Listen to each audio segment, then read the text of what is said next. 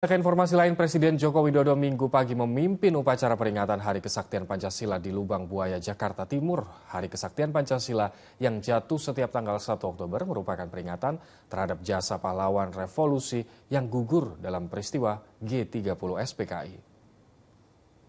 Presiden Republik Indonesia. Upacara peringatan Hari Kesaktian Pancasila dipimpin langsung oleh Presiden Joko Widodo di Monumen Pancasila Sakti, Lubang Buaya, Jakarta Timur minggu pagi. Wakil Presiden Maruf Amin, sejumlah Menteri Kabinet Indonesia Maju, ketua lembaga negara, hingga berbagai elemen masyarakat hadir sebagai peserta upacara. Ketua DPD Lanyala Mataliti bertugas membacakan teks Pancasila dan Ketua MPR RI Bambang Susatyo membacakan teks pembukaan Undang-Undang Dasar 1945.